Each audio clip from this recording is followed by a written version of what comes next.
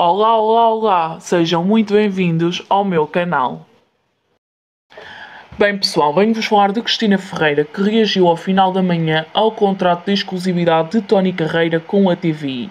Garantiu que o anúncio não foi feito antes, devido a tudo o que aconteceu em dezembro do mesmo ano, a morte de Sara Carreira. O Tony a TVI oficial divulga hoje que Tony Carreira é parceiro da estação desde outubro de 2020, com um contrato de exclusividade e uma série de projetos a serem trabalhados.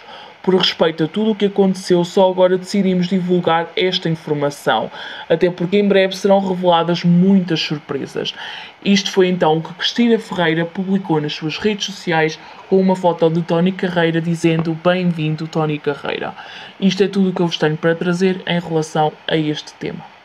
Se gostaste do vídeo e queres ver mais, deixa o teu like aí em baixo, subscreve-te ao canal e ativa as notificações.